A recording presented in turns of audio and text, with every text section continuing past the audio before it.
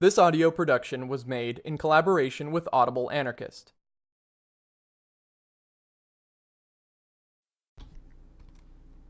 The Russian Tragedy by Alexander Berkman.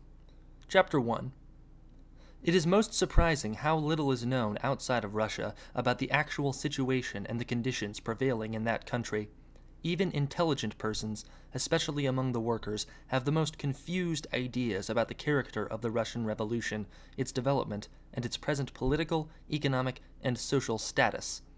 Understanding of Russia and of what has been happening there since 1917 is most inadequate, to say the least. Though the great majority of people side either with or against the revolution, speak for or against the Bolsheviks, yet almost nowhere is there concrete knowledge and clarity in regard to the vital subjects involved. Generally speaking, the views expressed, friendly or otherwise, are based on very incomplete and unreliable, frequently entirely false information about the Russian Revolution, its history, and the present phase of the Bolshevik regime. But not are the opinions entertained founded, as a rule, on insufficient or wrong data. Too often, they are deeply colored, properly speaking distorted, by partisan feeling, personal prejudice, and class interests. On the whole, it is sheer ignorance in one form or another which characterizes the attitude of the great majority of people towards Russia and Russian events. And yet, understanding of the Russian situation is most vital to the future progress and well being of the world. On the correct estimation of the Russian Revolution, the role played in it by the Bolsheviks and by other political parties and movements, and the causes that have brought about the present situation, in short, on a thorough conception of the whole problem, depends what lessons we shall draw from the great historic events of 1917. Those lessons will, for good or evil, affect the opinions and the activities of great masses of mankind. In other words, coming social changes and the labor and revolutionary efforts preceding and accompanying them will be profoundly, essentially influenced by the popular understanding of what has really happened in Russia. It is generally admitted that the Russian Revolution is the most important historic event since the Great French Revolution. I am even inclined to think that, in point of its potential consequences, the Revolution of 1917 is the most significant fact in the whole known history of mankind. It is the only revolution which aimed de facto at social world revolution. It is the only one which actually abolished the capitalist system on a countrywide scale and fundamentally altered all social relationships existing till then. An event of such human and historic magnitude must not be judged from the narrow viewpoint of partisanship. No subjective feeling or preconception should be consciously permitted to color one's attitude. Above all, every phase of the revolution must be carefully studied, without bias or prejudice, and all the facts dispassionately considered, to enable us to form a just and adequate opinion. I believe, I am firmly convinced, that only the whole truth about Russia, irrespective of any considerations whatever, can be of ultimate benefit. Unfortunately, such has not been the case so far as a general rule. It was natural, of course, for the Russian Revolution to arouse bitterest antagonism on the one hand and most passionate defense on the other, but partisanship of whatever camp is not an objective judge. To speak plainly, the most atrocious lies, as well as ridiculous fairy tales, have been spread about Russia, and are continuing to be spread, even at this late day. Naturally, it is not to be wondered at that the enemies of the Russian Revolution, the enemies of revolution as such, the reactionaries and their tools, should have flooded the world with most venomous misrepresentation of events transpiring in Russia. About them and their information, I need not waste any further words. In the eyes of honest, intelligent people, they are discredited long ago. But, sad to state, it is the would be friends of Russia and of the Russian Revolution who have done the greatest harm to the revolution, to the Russian people, and to the best interests of the working masses of the world, by their exercise of zeal untempered by truth. Some unconsciously, but most of them consciously and intentionally, have been lying, persistently and cheerfully, in defiance of all facts, in the mistaken notion that they are helping the revolution. Reasons of political expediency, of Bolshevik diplomacy, of the alleged necessity of the hour, and frequently motives of less unselfish considerations have actuated them. The sole decent consideration of decent men, of real friends of the Russian Revolution and of man's emancipation, as well as of reliable history, consideration for truth, they have entirely ignored. There have been honorable exceptions, unfortunately too few. Their voice has almost been lost in the wilderness of misrepresentation, falsehood, and overstatement. But most of those who visited Russia simply lied about the conditions in that country. I repeat it deliberately. Some lied because they did not know any better. They had neither the time nor the opportunity to study the situation, to learn the facts. They made flying trips, spending 10 days or a few weeks in Petrograd or Moscow, unfamiliar with the language, never for a moment coming in direct touch with the real life of the people, hearing and seeing only what was told or shown them by the interested officials accompanying them at every step. In many cases, these students of the revolution were veritable innocents abroad, naive to the point of the ludicrous. So unfamiliar were they with the environment that in most cases they had not even the faintest suspicion that their affable interpreter, so eager to show and explain everything, was in reality a member of the trusted men, specially assigned to guide important visitors. Many such visitors have since spoken and written voluminously about the Russian Revolution with little knowledge and less understanding. Others there were who had the time and the opportunity, and some of them really tried to study the situation seriously, not merely for the purpose of journalistic copy. During my two years' stay in Russia, I had occasion to come in personal contact with almost every foreign visitor, with the labor missions, and with practically every delegate from Europe, Asia, America, and Australia who gathered in Moscow to attend the International Communist Congress held there last year, 1921. Most of them could see and understand what was happening in the country, but it was a rare exception indeed that had vision and courage enough to realize that only the whole truth could serve the best interests of the situation. As a general rule, however, the various visitors to Russia were extremely careless of the truth, systematically so, the moment they began enlightening the world. Their assertions frequently bordered on criminal idiocy. Think, for instance, of George Lansbury, publisher of the London Daily Herald, stating that the ideas of brotherhood, equality, and love preached by Jesus the Nazarene were being realized in Russia and at that very same time when Lenin was deploring the necessity of military communism forced upon us by Allied intervention and blockade. Consider the equality that divided the population of Russia into 36 categories according to the ration and wages received. Another Englishman, a noted writer, emphatically claimed that everything would be well in Russia were it not for outside interference. While whole districts in the east, the south, and in Siberia, some of them larger in area than France, were in armed rebellion against the Bolsheviks and their agrarian policy. Other literati were extolling the free Soviet system of Russia, while 18,000 of her sons lay dead at Kronstadt in the struggle to achieve free Soviets. But why enlarge upon this literary prostitution? The reader will easily recall to mind the legion of Ananiases who have been strenuously denying the very existence of the things that Lenin tried to explain as inevitable. I know that many delegates and others believed that the real Russian situation, if known abroad, might strengthen the hand of the reactionists and interventionists. Such a belief, however, did not necessitate the painting of Russia as a veritable labor El Dorado. But the time when it might have been considered inadvisable to speak fully of the Russian situation is long past. That period has been terminated, relegated into the archives of history by the introduction of the new economic policy now the time has come when we must learn the full lesson of the revolution and the causes of its debacle, that we may avoid the mistakes it's made, Lenin frankly says they were many, that we may be enabled to adopt its best features. We must know the whole truth about Russia.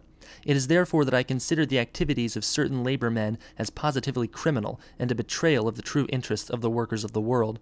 I refer to the men and women, some of them delegates to the congresses held in Moscow in 1921, that still continue to propagate the friendly lies about Russia, delude the masses with roseate pictures of labor conditions in that country, and even seek to induce workers of other lands to migrate in large numbers to Russia. They are strengthening the appalling confusion already existing in the popular mind, deceive the proletariat by false statements of the present and vain promises for the near future. They are perpetuating the dangerous delusion that the revolution is alive and continuously active in Russia. It is most despicable tactics. Of course, it is easy for an American labor leader playing to the radical element to write glowing reports about the condition of the Russian workmen while he is being entertained at state expense at the Lux, the most lucrative hotel in Russia. Indeed, he may insist that no money is needed, for does he not receive everything his heart desires free of charge? Or why should the president of an American needleworkers union not state the Russian workers enjoy full liberty of speech?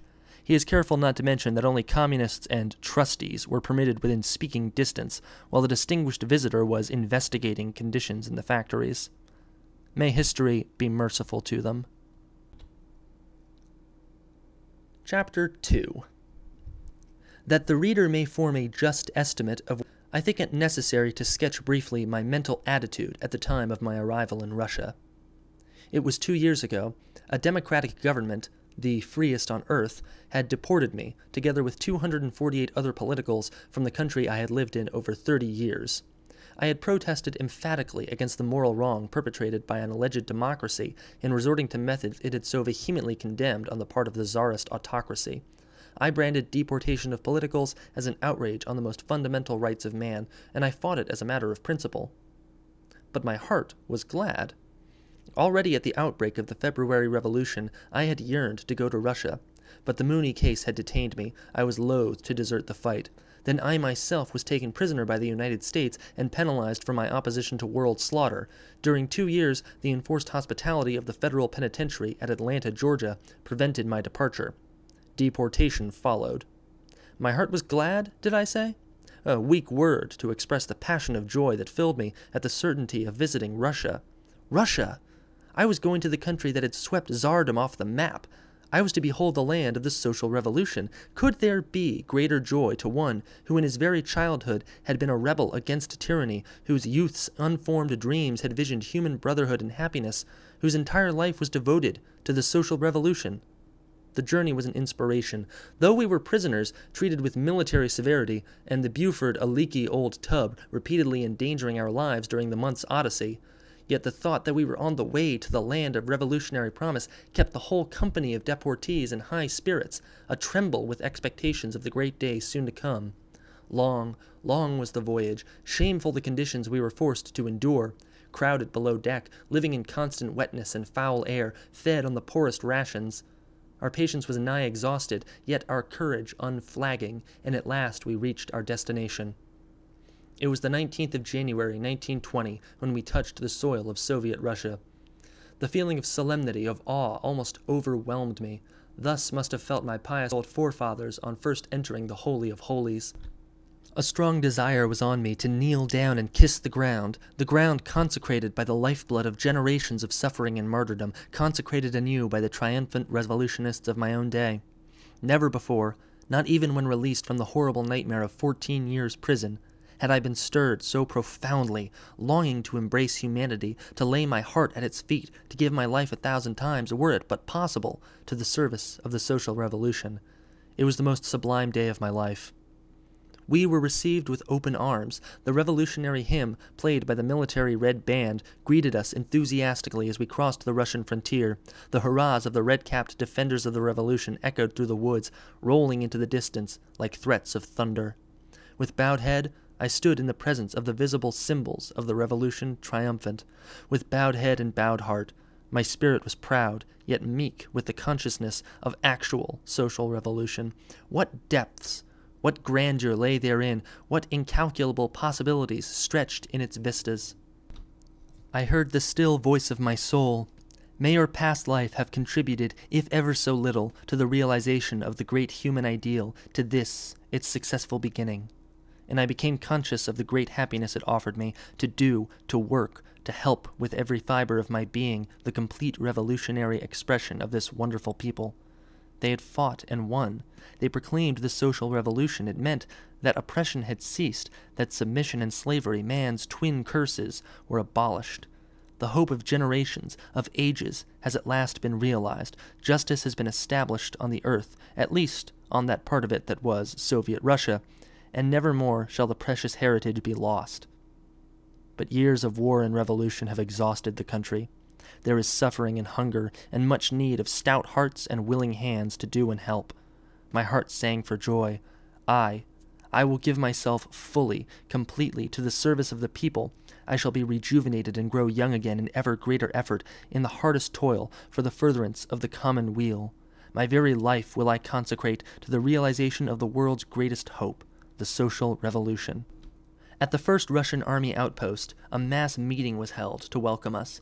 The large hall crowded with soldiers and sailors, the nun dressed women on the speaker's platform, their speeches, the whole atmosphere palpitating with revolution in action, all made a deep impression on me.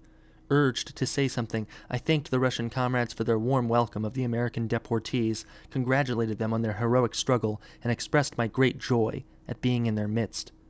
And then my whole thought and feeling fused into one sentence. Dear comrades, I said, we came not to teach, but to learn, to learn and to help. Thus I entered Russia. Thus felt my fellow deportees. I remained two years. What I learned, I learned gradually, day by day, in various parts of the country. I had exceptional opportunities for observation and study. I stood close to the leaders of the Communist Party, associated much with the most active men and women, participated in their work, and traveled extensively through the country under conditions most favorable to personal contact with the lives of workers and peasants. At first, I could not believe that what I saw was real. I would not believe my eyes, my ears, my judgment. As those trick mirrors that make you appear dreadfully monstrous, so Russia seemed to reflect the revolution as a frightful perversion. It was an appalling caricature of the new life, the world's hope. I shall not go into detailed description of my first impressions, my investigations, and the long process that resulted in my final conviction. I fought relentlessly, bitterly, against myself. For two years I fought, it is hardest to convince him who does not want to be convinced, and I admit I did not want to admit that the revolution in Russia had become a mirage, a dangerous deception. Long and hard I struggled against this conviction, yet proofs were accumulating, and each day brought more damning testimony. Against my will, against my hopes, against the holy fire of admiration and enthusiasm for Russia which burned within me, I was convinced. Convinced that the Russian Revolution had been done to death. How? And by whom.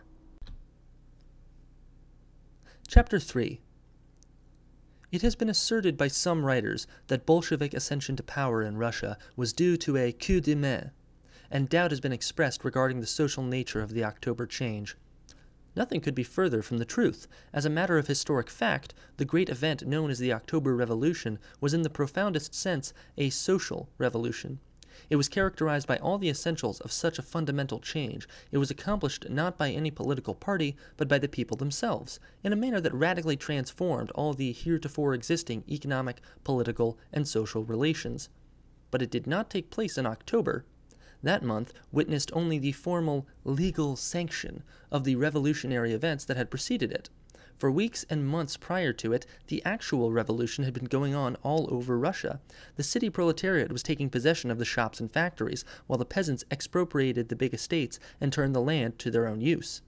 At the same time, workers' committees, peasants' committees, and Soviets sprang up all over the country, and there began the gradual transfer of power from the provisional government to the Soviets.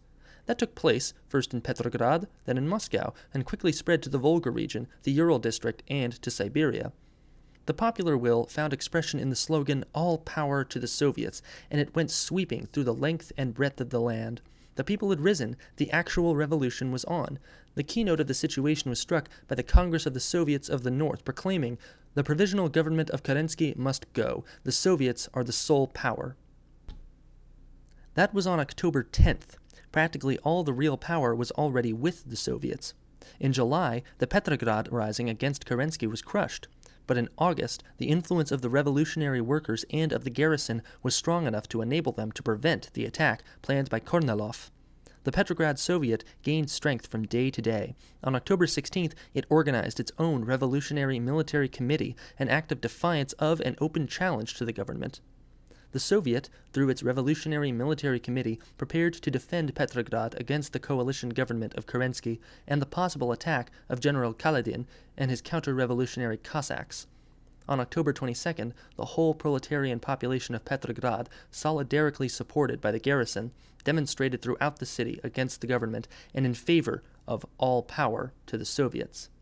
The All Russian Congress of Soviets was to open October 25th. The provisional government, knowing its very existence in imminent peril, resorted to drastic action. On October 23rd, the Petrograd Soviet ordered the Kerensky cabinet to withdraw within 48 hours. Driven to desperation, Kerensky undertook on October 24th to suppress the revolutionary press, arrest the most prominent revolutionists of Petrograd, and remove the active commissars of the Soviet. The government relied on the faithful troops and the young Junkers of the military student schools. But it was too late. The attempt to sustain the government failed. During the night of October 24th to 25th, November 6th to 7th, the Kerensky government was dissolved, peacefully, without bloodshed, and the exclusive supremacy of the Soviets was established. The Communist Party stepped into power. It was the political culmination of the Russian Revolution. Chapter 4 Various factors contributed to the success of the revolution. To begin with, it met with almost no active opposition. The Russian bourgeoisie was unorganized, weak, and not of a militant disposition but the main reasons lay in the all absorbing enthusiasm with which the revolutionary slogans had fired the whole people. Down with the war, immediate peace, the land to the peasant, the factory to the workers, all power to the Soviets. These were expressive of the passionate soul cry and deepest need of the great masses. No power could withstand their miraculous effect. Another very potent factor was the unity of the various revolutionary elements in their opposition to the Kerensky government. Bolsheviks, anarchists, the left faction of the Social Revolutionary Party, the numerous politicals freed from prison and Siberian exile, and the hundreds of returned revolutionary emigrants had all worked during the February to October months toward a common goal. But if it was easy to begin the revolution, as Lenin had said in one of his speeches, to develop it, to carry it to its logical conclusion, was another and more difficult matter. Two conditions were essential to such a consummation continued unity of all the revolutionary forces, and the application of the country's goodwill, initiative, and best energies to the important work of the new social construction. It must always be remembered, and remembered well, that revolution does not mean destruction only, it means destruction plus construction, with the greatest emphasis on the plus. Most unfortunately, Bolshevik principles and methods were soon fated to prove a handicap, a drawback upon the creative activities of the masses. The Bolsheviks are Marxists. Though in the October days they had accepted and proclaimed anarchist watchwords, direct action by the people, expropriation, free Soviets, and so forth, it was not their social philosophy that dictated this attitude. They had felt the popular pulse, the rising waves of the revolution had carried them far beyond their theories but they remained Marxists. At heart, they had no faith in the people and their creative initiative. As social democrats, they distrusted the peasantry, counting rather upon the support of the small revolutionary minority among the industrial element. They had advocated the Constituent Assembly, and only when they were convinced that they would not have a majority there, and therefore not be able to take state power into their own hands, they suddenly decided upon the dissolution of the Assembly, though the step was a refutation and a denial of fundamental Marxist principles. Incidentally, it was an anarchist, Anatoly Zheleznyakov, in charge of the palace guard, who took the initiative in the matter. As Marxists, the Bolsheviks insisted on the nationalization of the land, ownership, distribution, and control to be in the hands of the state. They were in principle opposed to socialization, and only the pressure of the left faction of the social revolutionists, the Spiridonova-Kamkov wing, whose influence among the peasantry was traditional, forced the Bolsheviks to swallow the agrarian program of the social revolutionists whole, as Lenin afterwards put it.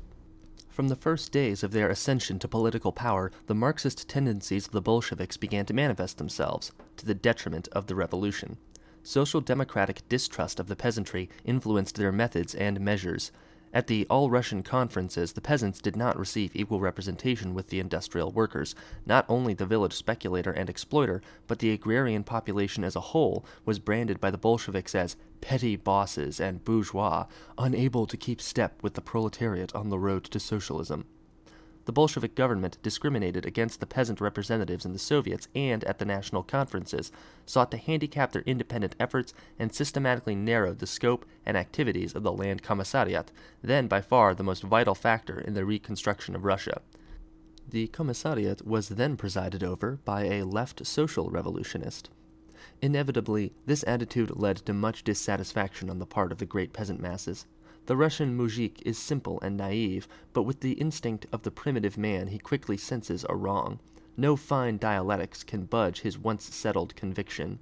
The very cornerstone of the Marxist credo, the dictatorship of the proletariat, served as an affront and an injury to the peasantry. They demanded an equal share in the organization and administration of the country. Had they not been enslaved, oppressed, and ignored long enough? The dictatorship of the proletariat the peasant resented as discrimination against himself. If dictatorship must be, he argued, why not of all who labor, of the town worker and of the peasant, together? Then came the Brest-Litovsk peace. In its far-reaching results, it proved the death blow to the revolution. Two months previously, in December 1917, Trotsky had refused, with a fine gesture of noble indignation, the peace offered by Germany on conditions much more favorable to Russia. We wage no war, we sign no peace, he had said, and revolutionary Russia applauded him. No compromise with German imperialism, no concessions, echoed through the length and breadth of the country, and the people stood ready to defend their revolution to the very death. But now, Lenin demanded the ratification of a peace that meant the most mean spirited betrayal of the greater part of Russia. Finland, Latvia, Lithuania, Ukraine, White Russia, Bessarabia, all were to be turned over to the oppression and exploitation of the German invader and of their own bourgeoisie. It was a monstrous thing, the sacrifice at once of the principles of the revolution and of its interests as well. Lenin insisted on ratification on the ground that the revolution needed a breathing spell, that Russia was exhausted, and that peace would enable the revolutionary oasis to gather strength for new effort. Radek denounced acceptance of Brest-Litovsk conditions as betrayal of the October Revolution. Trotsky disagreed with Lenin. The revolutionary forces split. The left social revolutionists, most of the anarchists, and many of the non-partisan revolutionary elements were bitterly opposed to making peace with imperialism, especially on the terms dictated then by Germany. They declared that such a peace would be fatal to the revolution, that the principle of peace without annexations must not be sacrificed that the German conditions involved the basest treachery to the workers and peasants of the provinces demanded by the Prussians, that the peace would subject the whole of Russia to economic and political dependence upon German imperialism, that the invaders would possess themselves of the Ukrainian bread and the Don coal and drive Russia to industrial ruin. But Lenin's influence was potent. He prevailed. The Brest-Litovsk Treaty was ratified by the Fourth Soviet Congress. It was Trotsky who first asserted, in refusing the German peace terms offered in December 1917, that the workers and peasants, inspired and armed by the revolution, could by guerrilla warfare overcome any army of invasion. The left social revolutionists now called for peasant uprisings to oppose the Germans, confident that no army could conquer the revolutionary ardor of a people fighting for the fruits of their great revolution. Workers and peasants responding to this call formed military detachments and rushed to the aid of Ukraine and White Russia, then valiantly struggling against the German invaders. Trotsky ordered the Russian army to pursue and suppress these partisan units. The killing of Mirbach followed. It was the protest of the left Social Revolutionist Party against and the defiance of Prussian imperialism within Russia. The Bolshevik government initiated repressive measures. It now felt itself, as it were, under obligations to Germany. Dzerzhinsky, head of the All Russian Extraordinary Commission, demanded the delivery of the terrorist. It was a situation unique in revolutionary annals, a revolutionary party in power demanding of another revolutionary party with which it had till then cooperated the arrest and punishment of a revolutionist for executing the representative of an imperialist government. The Brest-Litovsk peace had put the Bolsheviks in the anomalous position of a gendarme for the Kaiser. The left social revolutionists responded to Dzerzhinsky's demand by arresting the latter. This act, and the armed skirmishes that followed it, though insignificant in themselves, were thoroughly exploited by the Bolsheviks politically. They declared that it was an attempt of the left social revolutionist party to seize the reins of government. They announced that party outlawed, and their extermination began. These Bolshevik methods and tactics were not accidental. Soon it became evident that it is the settled policy of the communist state to crush every form of expression not in accord with the government. After the ratification of the Brest-Litovsk peace, the Left Social Revolutionist Party withdrew its representative in the Soviet of People's Commissars. The Bolsheviks thus remained in exclusive control of the government. Under one pretext and another, there followed most arbitrary and cruel suppressions of all the other political parties and movements. The Mensheviks and right social revolutionists had been liquidated long before, together with the Russian bourgeoisie. Now it was the turn of the revolutionary elements, the left social revolutionists, the anarchists, the nonpartisan revolutionists. But the liquidation of these involved much more than the suppression of small political groups. These revolutionary elements had strong followings the left social revolutionists among the peasantry, the anarchists mainly among the city proletariat. The new Bolshevik tactics encompassed systematic eradication of every sign of dissatisfaction, stifling all criticism, and crushing independent opinion or effort. With this phase, the Bolsheviks enter upon the dictatorship over the proletariat, as it is popularly characterized in Russia. The government's attitude to the peasantry is now that of open hostility. More increasingly is violence resorted to. Labor unions are dissolved, frequently by force, when their loyalty to the Communist Party is suspected. The cooperatives are attacked. This great organization, the fraternal bond between city and country, whose economic functions were so vital to the interests of Russia and of the revolution, is hindered in its important work of production, exchange, and distribution of the necessaries of life. It is disorganized, and finally, it is completely abolished. Arrests, night searches, house blockade, executions are the order of the day. The Extraordinary Commissions, or Cheka, originally organized to fight counter revolution and speculation, is becoming the terror of every worker and peasant. Its secret agents are everywhere, always unearthing plots, signifying the rastrel, shooting, of hundreds without hearing, trial, or appeal. From the intended defense of the revolution, the Cheka becomes the most dreaded organization, whose injustice and cruelty spread terror over the whole country. All powerful, owing no one responsibility, the Cheka is a law unto itself, possesses its own army, assumes police, judicial, administrative, and executive powers, and makes its own laws that supersede those of the official state. The prisons and concentration camps are filled with alleged counter revolutionists and speculators, 95% of whom are starved workers, simple peasants, and even children of 10 to 14 years of age. See reports of prison investigations Petrograd Krasnaya Gazeta and Pravda, Moscow Pravda, May, June, July 1920.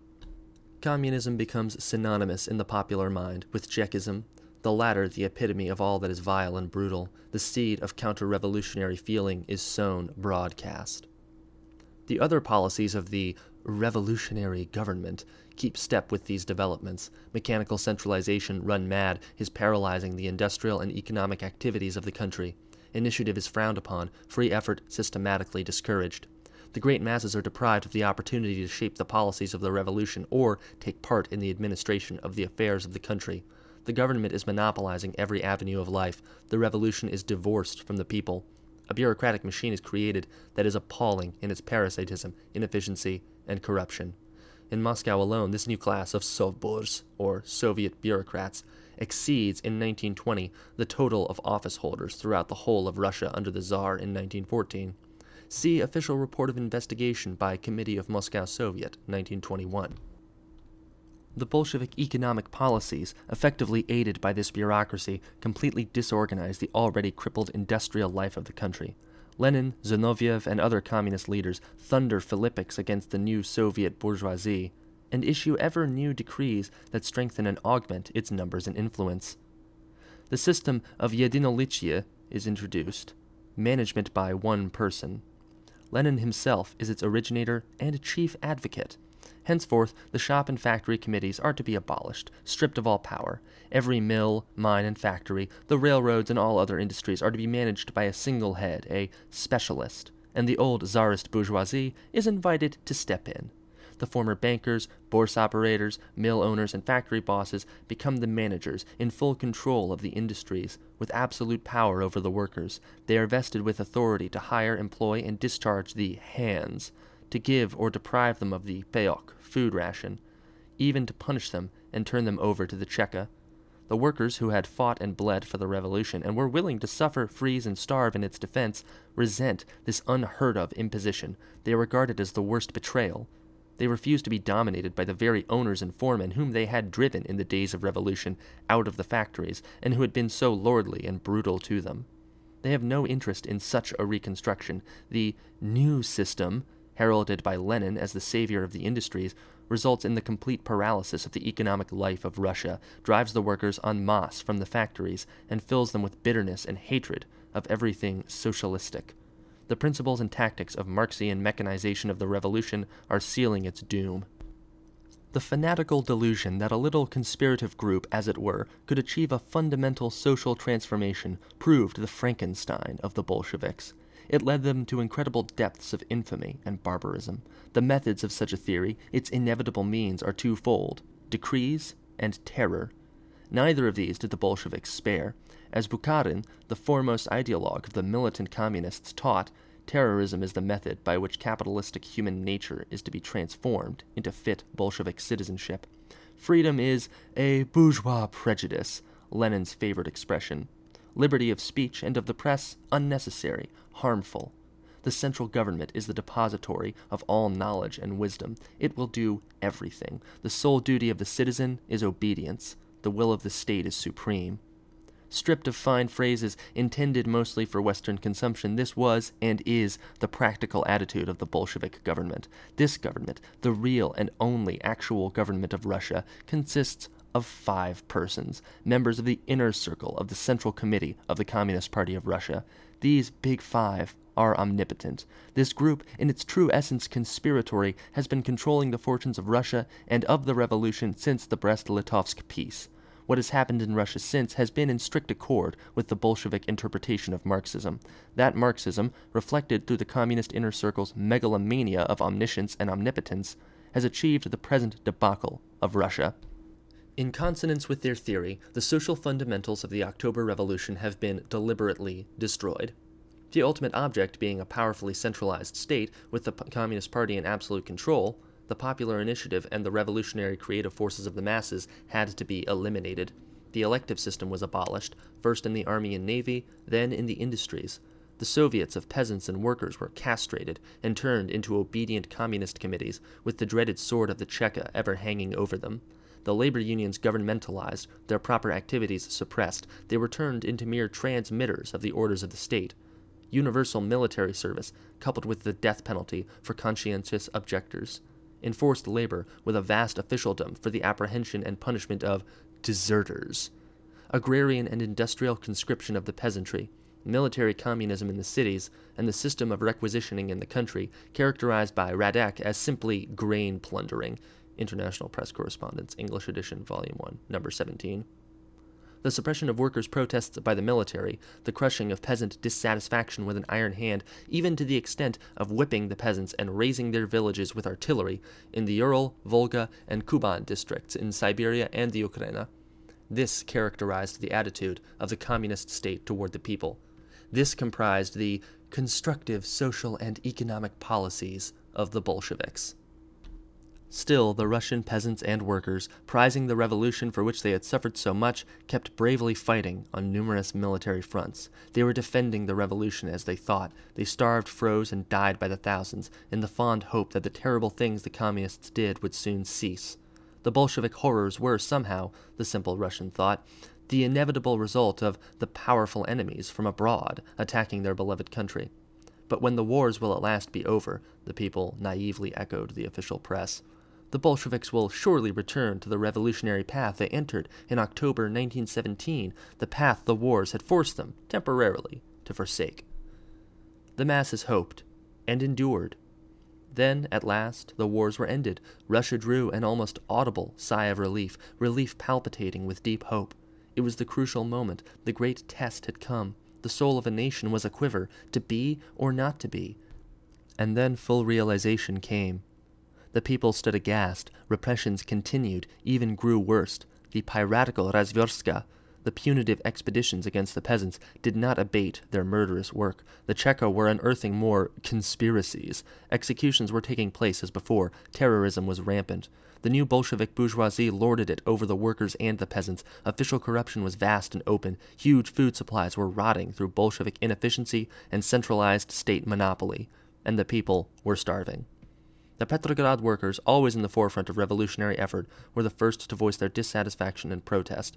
The Kronstadt sailors, upon investigation of the demands of the Petrograd proletariat, declared themselves solidaric with the workers. In their turn, they announced their stand for free Soviets, Soviets free from communist coercion, Soviets that should, in reality, represent the revolutionary masses and voice their needs. In the middle provinces of Russia, in the Ukraina, on the Caucasus, in Siberia, everywhere, the people made known their wants, voiced their grievances, informed the government of their demands. The Bolshevik state replied with its usual argument. The Kronstadt sailors were decimated, the bandits of Ukraine massacred, the rebels of the East laid low with machine guns. This done, Lenin announced at the 10th Congress of the Communist Party of Russia, March 1921, that his former policies were all wrong. The Razverstka, the requisition of food, was pure robbery. Military violence against the peasantry, a serious mistake. The workers must receive some consideration. The Soviet bureaucracy is corrupt and criminal, a huge parasite. The methods we have been using have failed. The people, especially the rural population, are not yet up to the level of communist principles. Private ownership must be reintroduced, free trade established. Henceforth, the best communist is he who can drive the best bargain. Lenin's expression. Chapter 5 Back to capitalism. The present situation in Russia is most anomalous. Economically, it is a combination of state and private capitalism. Politically, it remains the dictatorship of the proletariat, or more correctly, the dictatorship of the inner circle of the Communist Party. The peasantry has forced the Bolsheviks to make concessions to it. Forcible requisitioning is abolished. Its place has taken the tax in kind, a certain percentage of the peasant produce going to the government. Free trade has been legalized, and the farmer may now exchange or sell his surplus to the government, to the re established cooperatives, or on the open market. The new economic policy opens wide the door of exploitation. It sanctions the right of enrichment and of wealth accumulation. The farmer may now profit by his successful crops, rent more land, and exploit the labor of those peasants who have little land and no horses to work it with. The shortage of cattle and bad harvests in some parts of the country have created a new class of farm hands who hire themselves out to the well to do peasant. The poor people migrate from those regions which are suffering from famine and swell the ranks of this class. The village capitalist is in the making. The city worker in Russia today, under the new economic policy, is in exactly the same position as in any other capitalistic country. Free food distribution is abolished, except in a few industries operated by the government. The worker is paid wages and must pay for his necessaries, as in any country. Most of the industries, insofar as they are active, have been let or leased to private persons. The small capitalist now has a free hand. He has a large field for his activities. The farmer's surplus, the product of the industries, of the peasant trades, and of all the enterprises of private ownership, are subject to the ordinary processes of business. They can be bought and sold. Competition within the retail trade leads to incorporation and to the accumulation of fortunes in the hands of individuals. Developing city capitalism and village capitalism cannot long coexist with dictatorship of the proletariat. The unnatural alliance between the latter and foreign capitalism will, in the near future, prove another vital factor in the fate of Russia. The Bolshevik government still strives to uphold the dangerous delusion that the revolution is progressing, that Russia is ruled by proletarian Soviets, that the Communist Party and its state are identical with the people. It is still speaking in the name of the proletariat. It is seeking to dupe the people with a new chimera. After a while, the Bolsheviks now pretend, when Russia shall have become industrially resurrected through the achievements of our fast growing capitalism, the proletarian dictatorship will also have grown strong, and we will return to nationalization. The state will then systematically curtail and supplant the private industries and thus break the power of the meanwhile developed bourgeoisie. After a period of partial denationalization, a stronger nationalization begins, says Preobrazhensky, finance commissar, in his recent article, The Perspectives of the New Economic Policy. Then will socialism be victorious on the entire front. Radek is less diplomatic. We certainly do not mean, he assures us in his political analysis of the Russian situation, entitled Is the Russian Revolution a Bourgeois Revolution? International Press Correspondence, 16th December 1921, that at the end of the year we shall again confiscate the newly accumulated goods. Our economic policy is based upon a longer period of time. We are consciously preparing ourselves for cooperating with the bourgeoisie, this is undoubtedly dangerous to the existence of the Soviet government, because the latter loses the monopoly on industrial production as against the peasantry. Does not this signify the decisive victory of capitalism? May we not then speak of our revolution as having lost its revolutionary character? To these very timely and significant questions, Radek cheerfully answers with a categoric no. It is true, of course, as Marx taught, he admits, that economic relations determine the political ones, and that economic concessions to the bourgeoisie must lead also to political concessions. He remembers that when the powerful landowning class of Russia began making economic concessions to the bourgeoisie, those concessions were soon followed by political ones, and finally by the capitulation of the landowning class. But he insists that the Bolsheviks will retain their power even under the conditions of the restoration of capitalism. The bourgeoisie is a historically deteriorating, dying class. That is why the working class of Russia can refuse to make political concessions to the bourgeoisie, since it is justified in hoping that its power will grow on a national and international scale more quickly than will the power of the Russian bourgeoisie. Meanwhile, though authoritatively assured that his power is to grow on a national and international scale, the Russian worker is in a bad plight. The new economic policy has made the proletarian dictator a common everyday wage slave, like his brother in countries unblessed with socialist dictatorship. The curtailment of the government's national monopoly has resulted in the throwing of hundreds of thousands of men and women out of work. Many Soviet institutions have been closed. The remaining ones have discharged from 50 to 75 percent of their employees.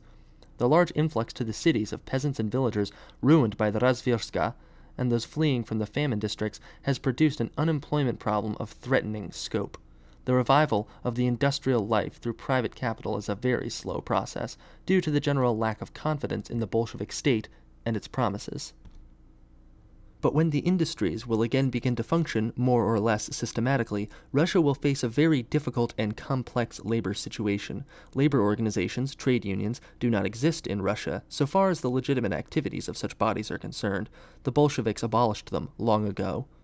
With developing production and capitalism, governmental as well as private, Russia will see the rise of a new proletariat whose interests must naturally come into conflict with those of the employing class a bitter struggle is imminent, a struggle of a twofold nature, against the private capitalist and against the state as an employer of labor. It is even probable that the situation may develop still another phase antagonism of the workers employed in the state owned industries toward the better paid workers of private concerns. What will be the attitude of the Bolshevik government?